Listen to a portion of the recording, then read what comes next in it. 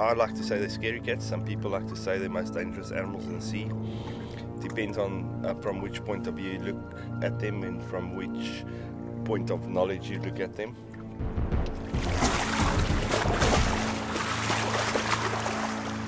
Go faster. It's red. I'm not alien. This one is a little deep. Yeah, I went for one second to reach it and she came up and I didn't move my hand up. I think that's what happened. It happened so fast. But it got me everywhere. Got me there, there, there, there, there. See, they got stuff on the um, teeth that prevents blood from clotting.